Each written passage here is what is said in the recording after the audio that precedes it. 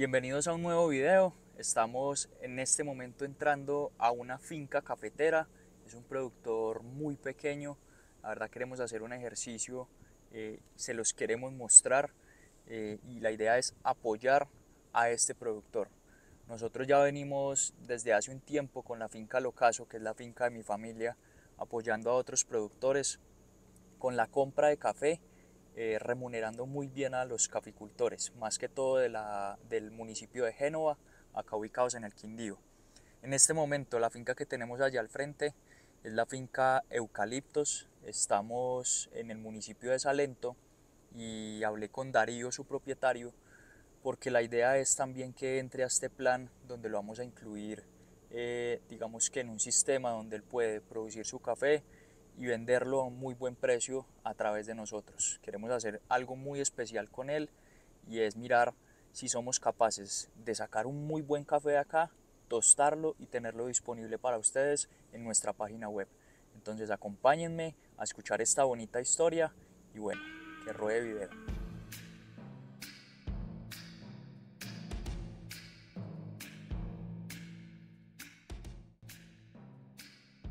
Bueno, mientras vamos entrando y viendo una casa típica cafetera, quiero contarles, eh, profundizar un poco más en la idea. Con el, con el tema de apoyar a los cafeteros, de toda esta situación que está pasando, de esta crisis que estamos viviendo, yo creo que esta es una de las formas en donde nosotros podemos buscarle solución a, a esta situación. Y es esas empresas que ya están constituidas, esas empresas que ya están saliendo adelante, que tienen negocios más estructurados, mirar un poco hacia los lados con sus vecinos, con sus amigos, quienes más están metidos en el gremio y nosotros también poner ese granito de arena apoyando, apoyándolos a ellos. Muchas veces este tipo de fincas no tienen la capacidad, no tienen los contactos, no tienen el conocimiento y, y nosotros los podemos ayudar. Vean ustedes esta finca lo bonita, qué agradable se ve. Y ahí está saliendo Rubén. Entonces vamos a saludarlo a ver qué tal. Yo Rubén, ¿qué más? Es nosotros orientarnos de un agrónomo, ¿sí? Yo no puedo venir acá y decirle, tumbe todo esto, que nada de esto sirve y haga esto. No, esto tiene que ser una asesoría profesional de una persona que sepa. Yo tengo el conocimiento, pero ese conocimiento hay que apoyarnos también de un profesional en la materia, sea alguien del comité o sea alguien particular. Yo en ese caso tengo el, digamos que el contacto y tengo los, las personas que me pueden ayudar y creo que gracias a Dios también la gente que nos está viendo nos puede apoyar en eso. Entonces la idea es que alguien, perdón, que alguien venga y nos diga, oiga hermano, sí, no, este lote está muy paloteado, está muy viejo, vamos a soquear este es el más viejo, seguramente este, sí hay que soquearlo. o ya habría que pensar, ya habría que pensar en una renovación, ¿sí? ¿Por qué? Porque ya el lote es viejo, también es una variedad que su producción es una muy buena variedad porque esto es, esto es genética, pero tiene sus, sus contras, como la roya, que la roya es un tema difícil. Entonces, todo es mejor dejarlo en manos de profesionales. Eh, yo podría en una segunda visita venir con el agrónomo, yo sé que él no tiene ningún problema, y él nos da también su asesoría, su punto de vista y nos dice, vea, este es el plan a seguir, miramos a ver usted hasta dónde puede hacer, ¿sí? Y, y cuál es el paso a seguir ahí. Eso, eso, es como lo que podríamos hacer así eh, ahora, inmediato, para este año. Ya para el otro año ir mirando. ¿Cuál es la propuesta? Lo que le vaya saliendo, yo quiero comprarle ese café bien comprado y a través de la página web de nosotros, nosotros tenemos una página web es poner su café ahí para que ese café se venda bien vendido y nosotros pagarle a usted ese café muy bien pagado. ¿sí? Ahora la federación está pagando, usted va en este momento a cooperativa y le dan 126 mil pesos por arroba, está más o menos. Pues la idea no es llegar a eso, la idea es uno poder hacer márgenes superiores a eso. Y fuera eso que es un café orgánico eso es lo importante. Es que es que hoy en día van a mandar los productos orgánicos. Y yo estoy seguro, pues que uno mostrando este tipo de cosas, la gente, la gente va a querer apoyar. Sí, claro. Sí, porque de eso se trata y ese es el granito de arena que nosotros tenemos que poner eh, como caficultores medianos venir a apoyar a los que lo necesitan, a los pequeños y para arriba todos, vamos para Además, arriba. otra cosa, Santiago, está, día tras día la situación se pone más difícil en el mundo, ¿sí?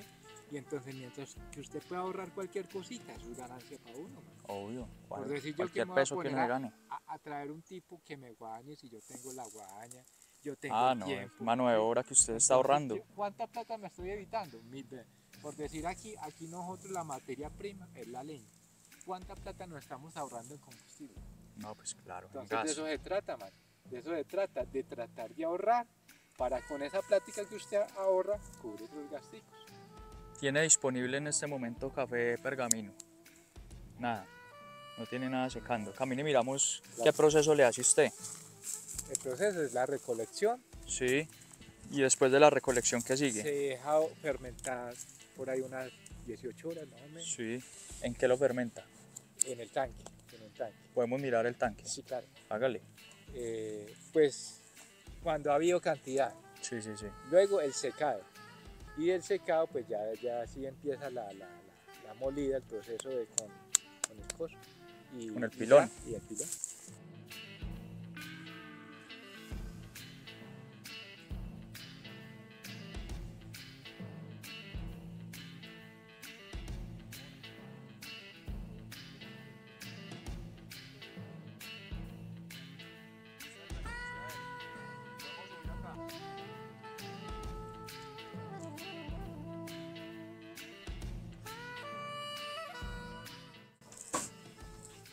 Esta la, la hizo el comité en el año de, de 1997. Un 12, un 12, 13 de agosto. En el 97 hicieron esta 97 tolva. Hicieron esto. Tiene los años míos, está de raca. Tres añitos más tiene. Bueno, man. Del 94 y yo. Ya está ya, ya cuchacho. Madera fina. Sí, puro, puro. Ah, que tengo que cambiarle el viaje también. Mi papá tuvo cerdos, tuvo gallinas, eso era un galpón, el día era otro galpón, eh, tuvo caballos. O sea, el tiempo de él, pues la abundancia, hoy en día, pues, es metiendo uno el hombro, pero no se ve el billete. Entonces acá despulpa, pero pone el costal. Como un costal, Ya, y la despulpada es ahí a mano. manual, sí. Ok, ok. Se deja fermentar, puede hablar 16, 18 horas. ¿Dónde lo fermenta? Acá mismo. Ahí, ahí mismo. Lo deja acá adentro. Ah, no, lo, lo saco aquí afuera y lo coloco ahí en. Y él se fermenta solo. Sí, sí, sí. Cuando vea uno que ya se está, ¿cómo es que se llama? La Un mucílago está desprendiendo. mucílago se desprende, entonces se lava y se coloca en los, en los carros de café. Camine, miremos los carros. Eso sí están malitos. No pasa nada, no pasa nada. Yo lo que quiero es ver.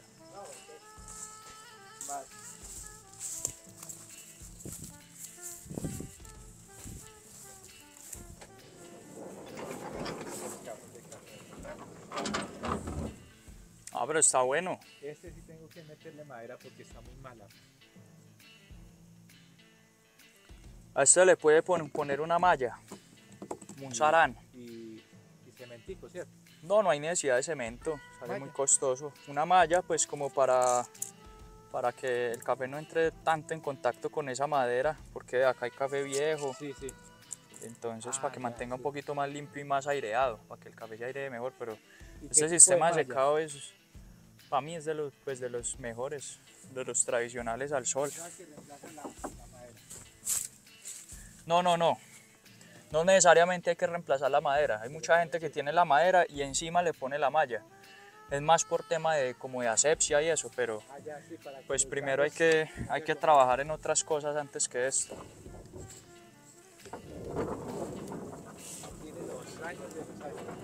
No, pues me imagino. Todos sirven. Estos sí, estos sí están malitos. Es madera muy vieja. Hay que reforzar todo. Ya. Puro peinemón.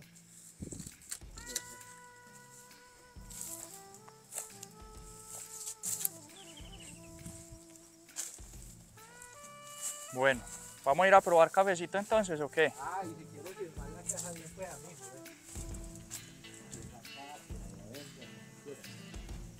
¿Cuántas cuadras es esta finca? 16 y medio. Uy, es que es grande, ¿no? Solamente tiene cafecito ahora en producción.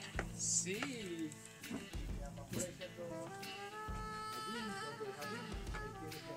Uy, me perdí. Para este lado, ¿cierto?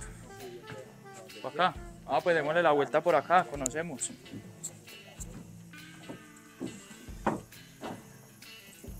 Una casa de 150 años, me dice. Vea, puro bareque, Quiero bares. puro bareque, papá. Eso aguanta lo que sea. Vea. Y le cuento una sola pintada. Una sola pintada. Cuando las cosas se hacían para toda la vida.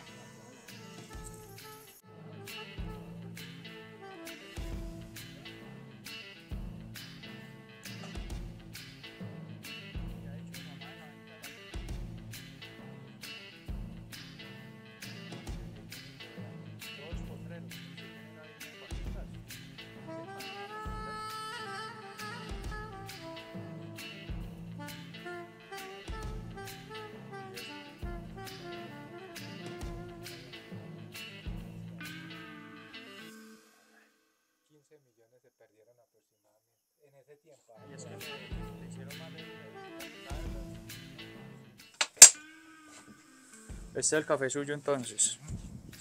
¿Cuánto me dijo que lo, lo tostaba? ¿Cuánto tiempo? Cuatro horas más o menos. Cuatro horas. Pensa. Vamos a sartén, probarlo. El sartén, ah, eh, el proceso manual. Sí, sí, sí, sí. Tostado pues manualmente. Sí, tostado manual. Bueno. Vamos a probar el suyo. Y se muele, y se muele en, en una máquina de moler. Vamos a probar el suyo.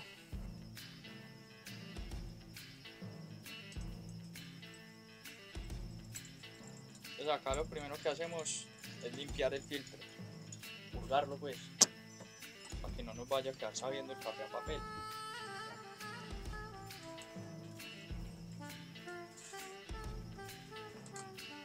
Vamos a preparar el cafecito suyo entonces a ver qué tal está.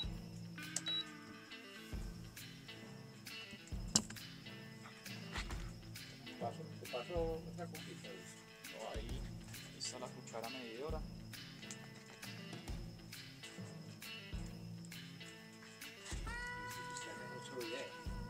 Sí. ¿Me ha visto por ahí, güey? Sí, TikTok. Sí, se ve TikTok.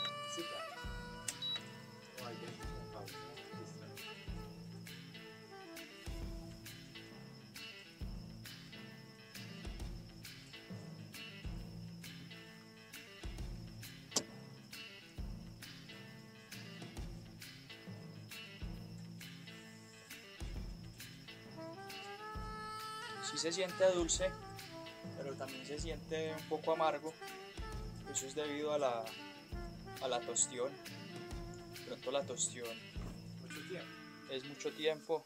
No, no es, digamos que para un buen cafecito, lo ideal sería una tostión media. Pero eso lo podemos ir cuadrando sobre la marcha. Eso lo podemos ir cuadrando sobre la marcha.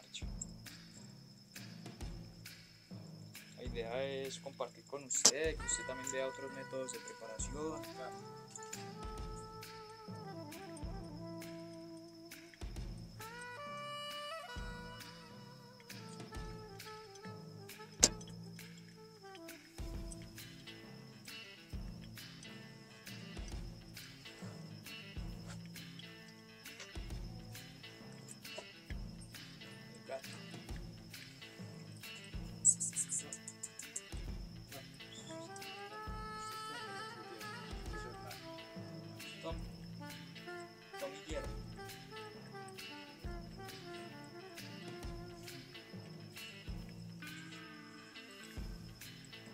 Pocillito por ahí?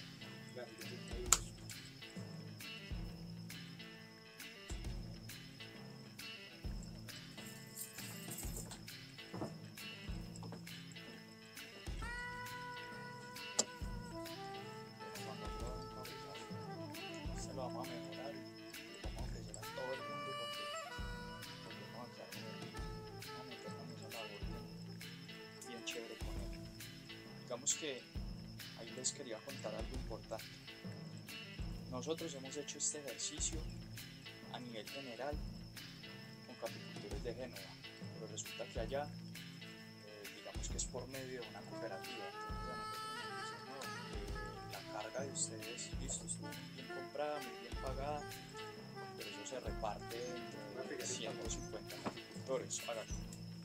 150 capicultores o 70, bueno, los que haya en su momento en cooperativa.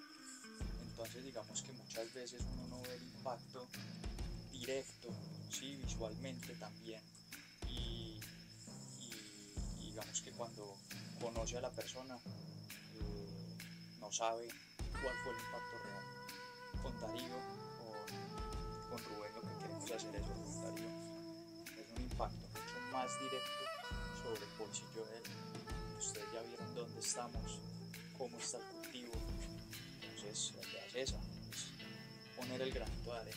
Muchas veces nos quedamos como solamente ahí con el intermediario, con, con cooperativa, con, con hacer la labor hasta cierto punto, pero queremos ir un poco más allá y encontrar eh, la raíz del problema. El problema que está la falta de recursos para uno poder tener un cultivo de café sostenible en el largo tiempo. Hay varios problemas, ya los identificamos, ahora más tarde se los cuento más profundo, pero, pero podemos hacer algo muy chévere, muy bonito.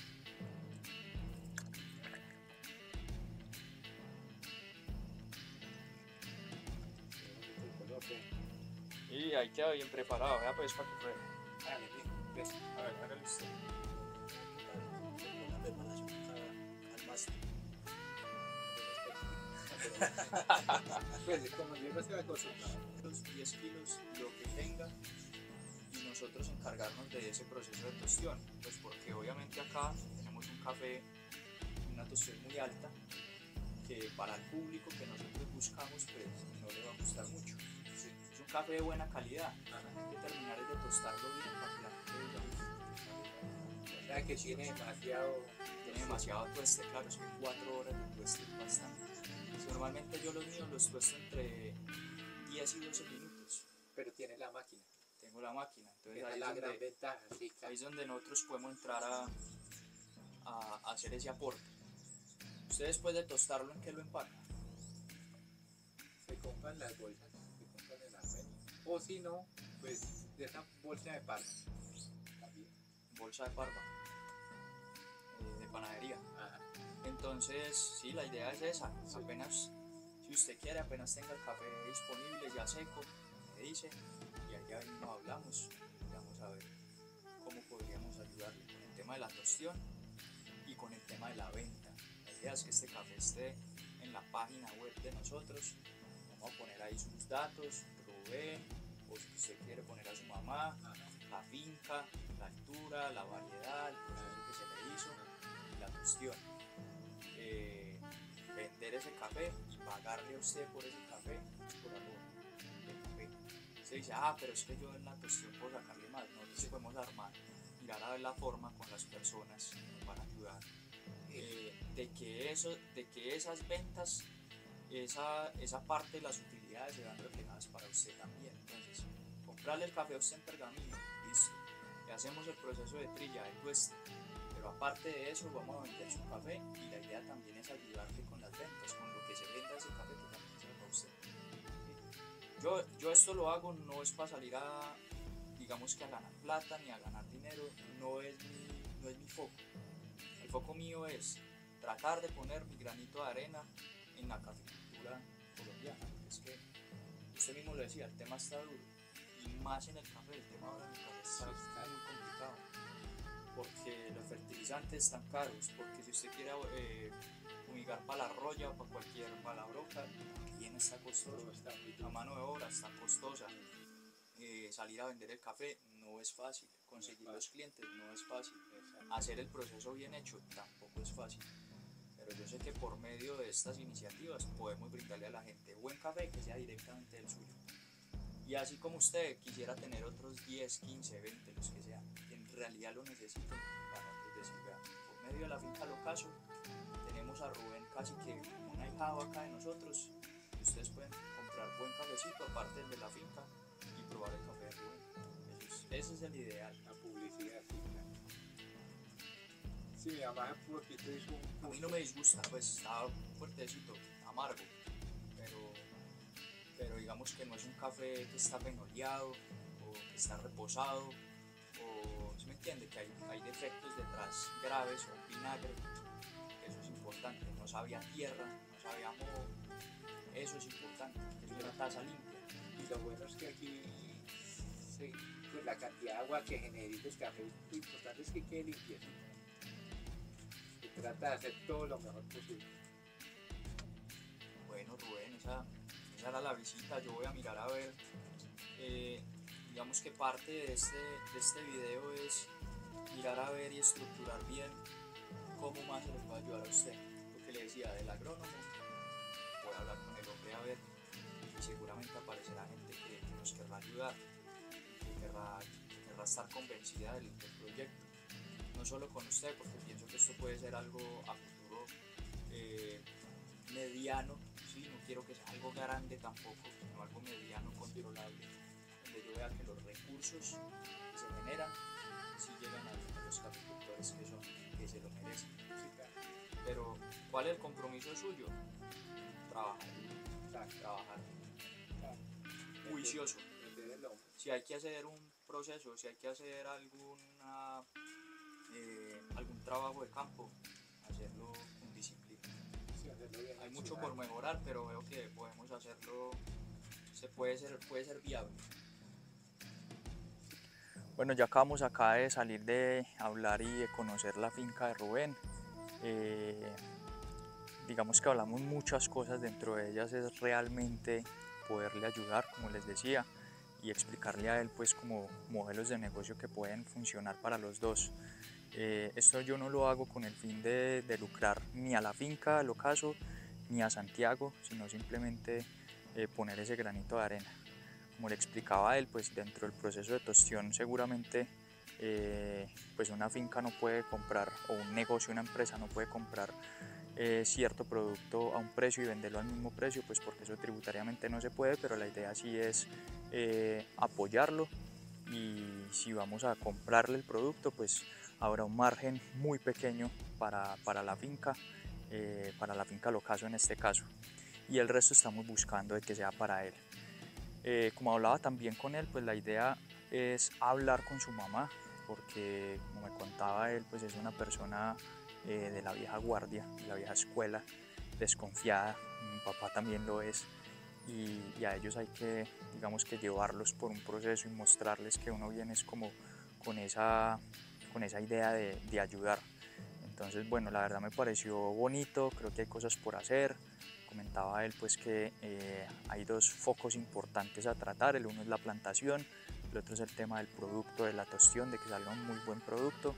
Eh, acá es donde la finca puede ayudar mucho y acá es donde Santiago puede ayudar mucho eh, con el conocimiento y con los contactos, sea de agrónomos, sea de fertilizantes, de todo este tema pues de, de como de asesoría en, producción y el otro es asesoría y, y proceso en el tema de la tostión. Vamos a buscar entonces el mejor modelo de negocio eh, donde Rubén pueda ser parte y sea el gran beneficiario de este pequeño proyecto que vamos a llevar a cabo y que ojalá el día de mañana eh, sean muchos más caficultores como Rubén. Ustedes ya vieron la finca, ya vieron las condiciones, ya vieron, eh, digamos que hay potencial, pero hay que trabajarlo, ¿sí? Eh, y digamos que esa falta de recursos es, es lo que impide hacer eso. Y esa es la realidad de muchos caficultores hoy en día. Este video lo hago con la intención de primero mostrarles esa crisis que está viviendo el sector cafetero en Colombia. Eh, como él hay muchísimos, es el 80% de los caficultores pequeños los que aportan a la caficultura en Colombia.